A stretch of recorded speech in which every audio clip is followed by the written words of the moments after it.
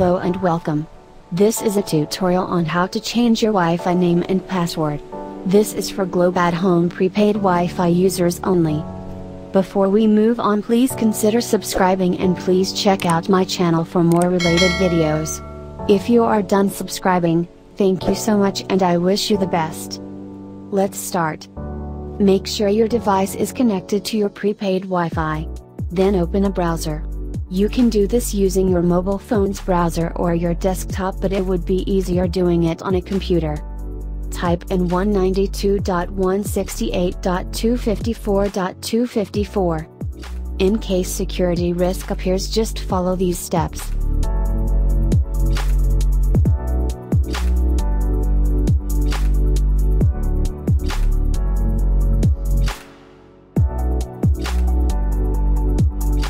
Then login page should appear then enter your login credential.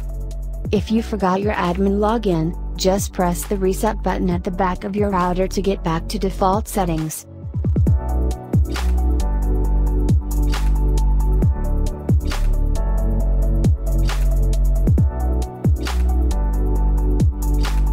This is the dashboard. Click the Wi-Fi settings tab.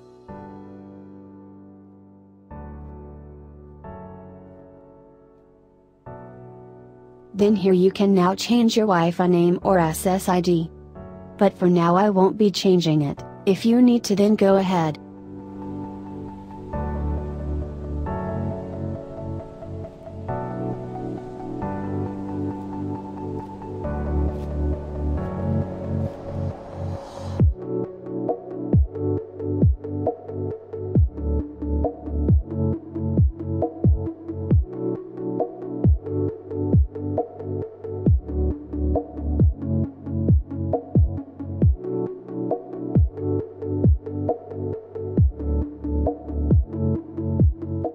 If you are done just click the apply button.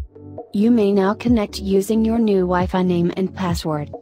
I hope this helps you somehow. Thank you for watching. Like, share and subscribe.